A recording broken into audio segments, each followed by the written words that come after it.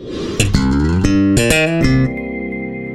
were just kind of talking about it, but how good was it just to get back out here and know that you have another game to play this year? It felt good. Everybody got out here. We, we ran around. We got some good work in. We did fundamental stuff. We get back to the basics and our style of play. After a week kind of off the football field, have you, have you kind of taken note of what you've kind of done this year, just kind of how unprecedented that is? Nah, really. I just kind of relaxed and just watch some watch some football and uh, you know caught up with some buddies back home. But mean, I was thinking about I was thinking about um, how I want to be in this championship this weekend. So uh, Coach Jones talked about today in the meeting that we're gonna be there next year, and uh, we got to keep on working towards that. Did you surprise yourself with how productive you were, with the sacks and tackles for loss as a true freshman? No. You didn't surprise yourself? No. You expected this? Yeah. Even though you came in in the summer? Yes, sir. Why did you expect it? Uh, I got high expectations for myself, and I got God gave me a bunch of talent, so I got to use them in the uh, correct way to help the team. So I, I thought um, I could I could help the team out. Was there a time early in camp that you realized I'm, I'm good enough to play for this team right now? Uh, I just came in with the right mindset. Wherever I, where they put me at offense or defense, I didn't know if I was play D line or tight end.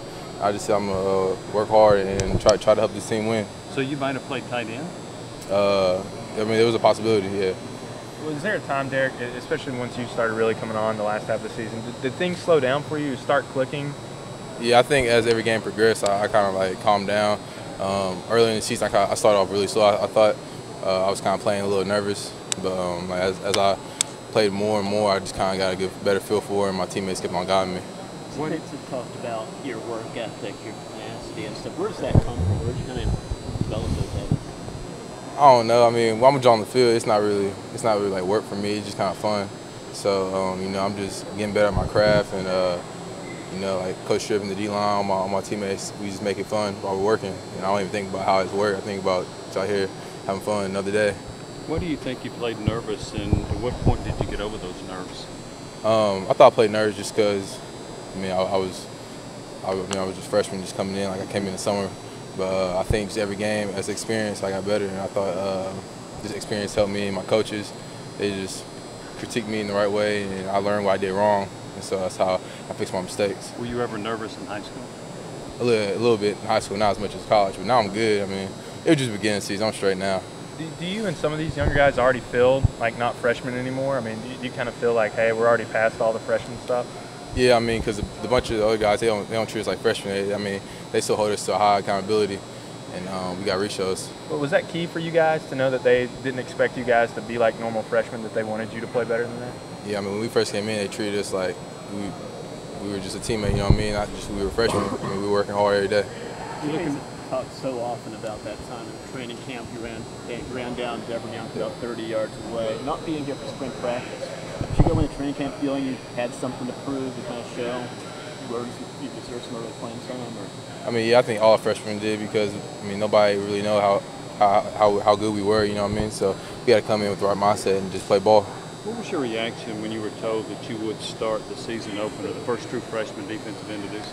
I was happy that I got the chance to uh, play for like a great university and, and, a great stadium in front of great fans. I was excited. And how much are you looking forward to playing in a bowl game? First one for Tennessee since 2010. I, I can't wait. It just it's the first one since 2010, but many more, you know. So um, I'm excited. Looking up at your sophomore season, what are you going to improve on during the off season? Where do you think you need to still need to get better? Better on my pass rush and my hands. And I definitely need to get better in the weight room, and um, I need to get quicker. There's a bunch of stuff I can get better on. And I have to be a better leader as well. Was there a teammate that helped you early? Was it Curt Maggitt or maybe somebody else that helped you as far as being a good pass rusher and honing your skills? Yeah, I'd say Curt Maggitt, Corey Vereen, all those guys, and Jordan Williams. That's my big brother, so uh, he took me in when I first got here. You know, he just walked me through the ropes and everything, and um, you know, we're roommates when we go go on uh, trips and stuff. So, and he just tells me uh, every week, like, give it your all in the weight room, everything you do, and you won't have no regrets. Maggitt's ahead of you in sacks, isn't he? Yeah. You got a bowl game to catch him, don't you? Yeah, we compete. I'm gonna catch him. Any friendly bets there or anything like that, or? Oh, it's just friendly competition. I mean, we said we're gonna try to get a bunch, and, and that's what we've been doing. And uh, also, like the guys on the inside, I don't think they get enough credit. I mean, they pushing the sacks towards us, so it's not just us getting the sacks. You know what I mean? It's it's Owen Williams and uh, Jordan, uh, OBs, all those guys putting pressure up the middle, and they just falling back to us. Have you uh, gone back to look at film to say where you thought maybe you should have got a sack or he shouldn't have gotten a sack? Yeah. Yeah. yeah. Yeah, Did you find one? yeah, I found some. You a- need to tell Jason Yellin about that.